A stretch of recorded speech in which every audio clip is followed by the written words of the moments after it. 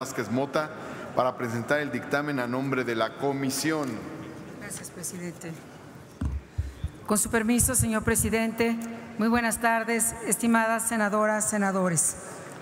Hago uso de esta tribuna para exponer a ustedes los principales razonamientos que sustentan este dictamen que la Comisión de los Derechos de la Niñez y de la Adolescencia está haciendo como un punto de acuerdo por el que se exhorta a los integrantes del Consejo de la Judicatura Federal a realizar y aplicar mecanismos en la resolución de actuaciones y juicios sobre guarda y custodia de menores a fin de proteger el interés superior de los niños. Hoy, y es importante compartirlo, en el marco del Día Universal del Niño, es inevitable reiterar que el interés superior de la niñez y la plena satisfacción de sus derechos son fundamentales para su sano desarrollo integral.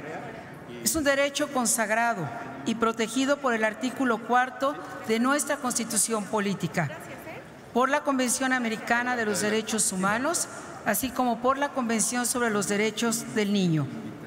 Ante diversos casos, y aquí se han expuesto algunos en esta tribuna, de controversia, en los que se han visto involucrados actos que atentan contra este derecho, la propia Suprema Corte de Justicia de la Nación se ha pronunciado para garantizar la protección y el derecho integral de la niñez.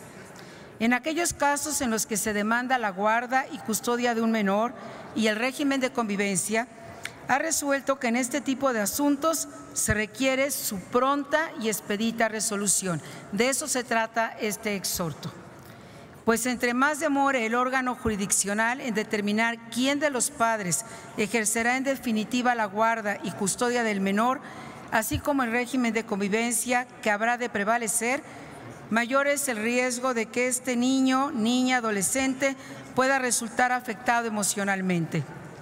Ante estos hechos y acontecimientos, esta Comisión de Derechos de la Niñez y de la Adolescencia considera viable y absolutamente necesario hacer un llamado al Poder Judicial de la Federación a actuar con pronta rapidez y celeridad en aquellos casos donde se diriman los derechos de las niñas, niños y adolescentes relacionados con la guarda y custodia. Por todo lo anterior solicito a todas las senadoras aquí presentes, a todos los senadores aquí presentes, nos acompañen con su respaldo y su voto a favor para este dictamen. Es cuanto, señor presidente. Muchas gracias, senadora.